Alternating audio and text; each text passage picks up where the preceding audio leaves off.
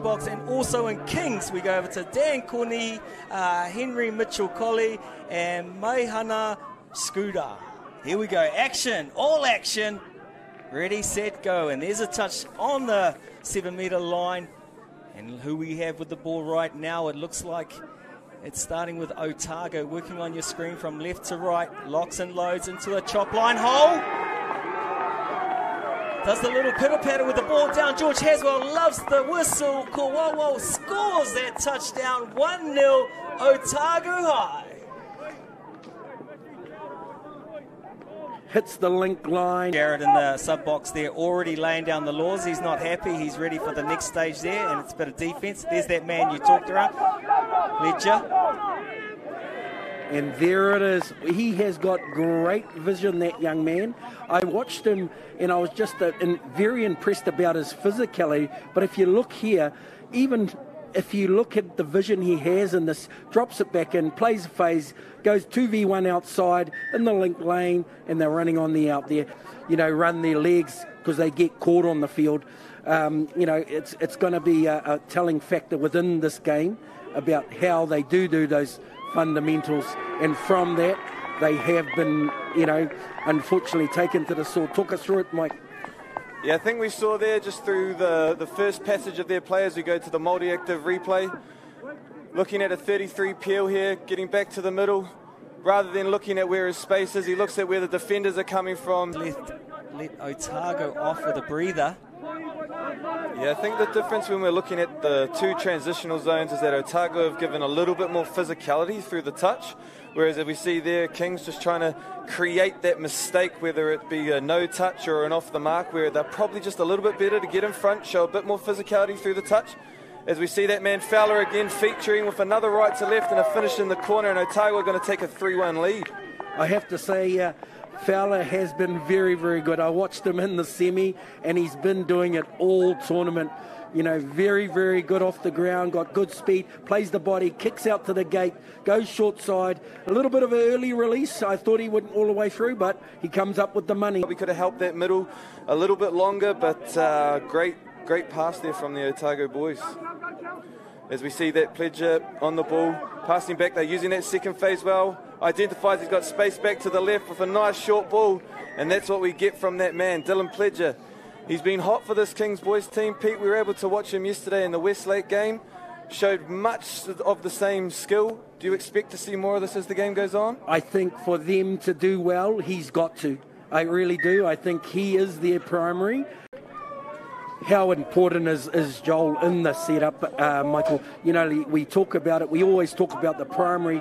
The key to it is having those assisting players that are going to make the primary shine. And what a great release as I'm talking. Yeah, much like Pete there, we see Cook. He knew that Dills was on the other side of the field, so he made sure that he used his experience as we look at the Apollo Projects replay. Just setting up a sweep here, comes nice and square, kicks out, identifies that someone's coming in, and then a simple Duran pass and a good finish in the corner there by Kone. I like how you say simple, Michael. You know, it's the new skill of the link. It's the catch and release 2v1. And, uh, and I think Dylan done it with a little bit of uh, uh, class and skill there. Uh, but it is a skill that is, has to be adapted by the modern link nowadays. Oh, I love how you see that simple skill as well. You know, it's it's come a long way. We used to see one person do it every so often, but now, throughout this tournament, I've seen so much of it. Oh, look at this. And I've seen so much of that. Another great touchdown. Just when it was three apiece, Otago come back once again, taking it to four with the Caltex replay. Yeah, he comes, peels. He's got good vision, throws a little dummy, and dies. He's got a very.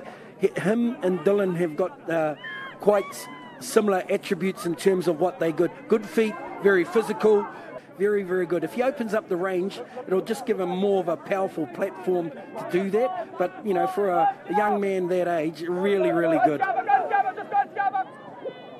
And just as we say that, they change up a fake 32 peel, hit the link, get in the gate, and he uses tremendous speed to get a touchdown there. Early, early release, release to the link, what are you thinking, Michael? What what what could have the defence done better there?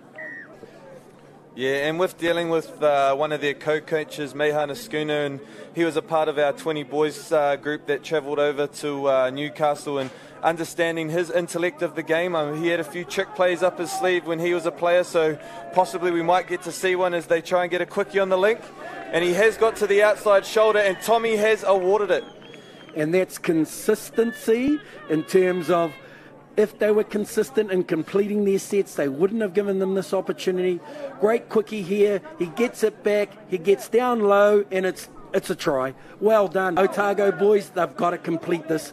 Time is now their enemy. Yeah, with only a minute left, they're probably going to have this set and another set if they're lucky.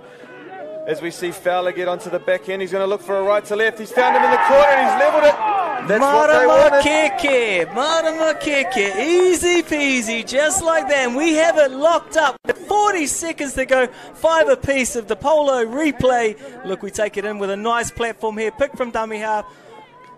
Lots, loads, over the top, winger, high flying, touchdown. After two minutes, whoever's in the lead will win this game. I think it's a huge. Uh, um, benefit to start in the drop off due to the fact that you get to control the momentum of the momentum of the game. Let's see what they've got. Set piece. And there we see just a bit of pressure from Kings trying to push that pass. Had had the Otago defensive line on the run. And for those of you out there that don't understand, the drop off is now a four on four format, a two minute final time, and the team that leads after that two minutes will take this drop off out. However, if it is still locked up at the end of that two minutes, then we will go down to three on three. Where the ball finishes at the end of that two minutes becomes a sudden death shootout, and it's a golden point scenario. That's a great lift from the outside unit there to be able to make that touch. Just smart knowing that he got in the passing lane there, Pete, and was able to make that yeah. touch. How exciting is this? I talked about exit and basic fundamentals. If I've if I'm being honest, we've got uh, Fowler who's been very, very good in this game. You've given him opportunity. He's a primary attacker. And he just won the Nationals for Otago boys. If we've got 30 seconds to play, touch can be very, very cruel in terms of if you don't get your basic fundamentals right. And what a try by fella. He's had, really had a really good tournament. For me, one of the, the best. You know, there's, you know, like, it's a big day, but they've got seconds to draw it up here, 14 to be exact, and they need a big play here. Yeah, they'll look to try and take it to one edge. A bit of footwork as he brings it back, and he's going to do it. Has he got it down? Oh, he's called the touch. He's going to have to roll this quick. Is that the game? He's called play. Here we go. They'll give it everything, Kings. Bit of a step back, looking for a late cut. He throws it around the back. Ball goes to ground. Takata Poro and Otago boys have taken out the men's final at the Bunnings Warehouse New Zealand Secondary School Nationals for 2022. I can't take anything away from the Kings' performance, though. They gave it everything. They trailed early in this game. They managed to claw their way back. They got in front. They unfortunately got it levelled up and they took it into the drop off, and then just a few uncharacteristic errors there, Pete, in the drop off, which uh, allowed uh, Otago to probably capitalise a little bit more.